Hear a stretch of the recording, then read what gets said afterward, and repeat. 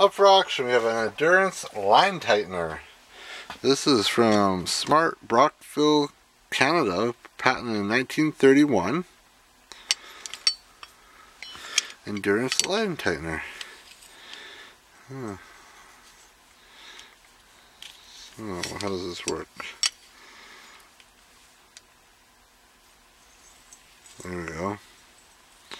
So what is this? So if you put it in there, it goes.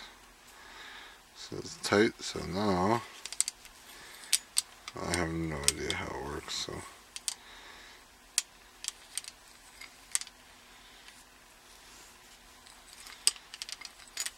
I'm not sure how it works. But there you go. It functions. It's a nice piece of history. It's a good wall hanger. If you have any questions about it, like size, the size of it, 10 inches.